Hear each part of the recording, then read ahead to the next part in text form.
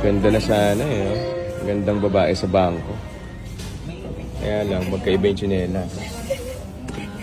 Hindi ko napansin. Ganda. Like.